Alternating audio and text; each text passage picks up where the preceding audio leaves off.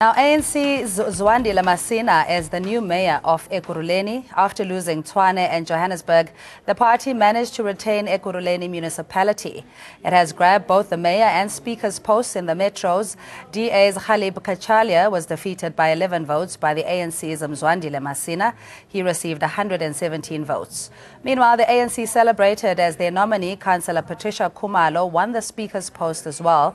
She beat DA's candidate, Shadow Shabangu, 117 to 106. The DA, who failed to add yet another metro to its bag, says they will play the role of a vigilant opposition. I also want to take this opportunity to thank other leaders of other political parties, in particular the parties in coalition with the African National Congress, the, in, the African Independent Congress, the Pan-Africanist Congress, the Patriotic Alliance, IRASA, amongst others.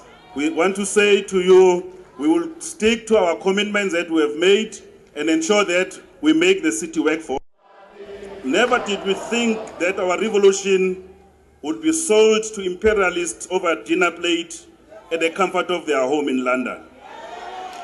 Indeed, here in Ekurhuleni, sithandaza uThixo ophilayo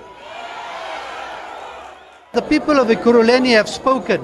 They have empowered the elected representatives to embark on the continuation and expansion of the policies of Jacob Zuma and his acolytes in this city.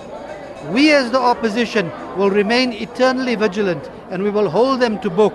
This is only the beginning of a great future.